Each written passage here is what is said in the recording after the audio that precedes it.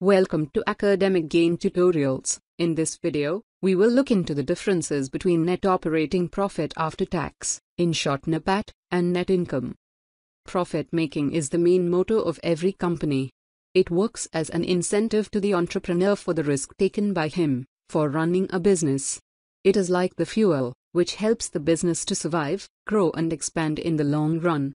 In business parlance, net operating profit after tax, that is NOPAT, is the actual after tax operating profit of the company, or in simple terms, it is the earning of the company after interest and tax. Net income, on the other hand, refers to the actual profit earned by the company in a financial year. It is calculated by deducting all taxes, interest, and expenses, including non cash ones like depreciation from the revenues. The line that differentiates the NOPAT and net income is very thin and blur.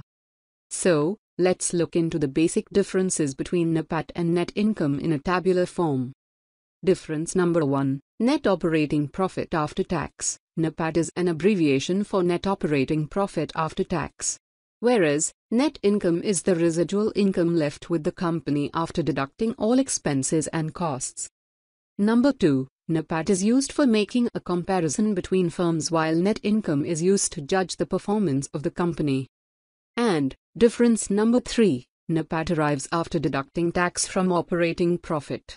On the other hand, net income arrives after deducting all expenses, profit, tax, and dividends. The company focuses on the calculation of net income for knowing the profitability of the company. Along with that, the stakeholders also easily understand the net income of the company, as on the basis of it, they will get the dividend. But NOPAT has its significance in calculating the income of the company if there is no debt financing as well as to compare two projects or firms. In this way, it primarily identifies the company's earnings without interest. So, these are the differences between net operating profit after tax, in short NOPAT, and net income. If this lecture was helpful, give it a thumbs up and subscribe to the channel. Thank you.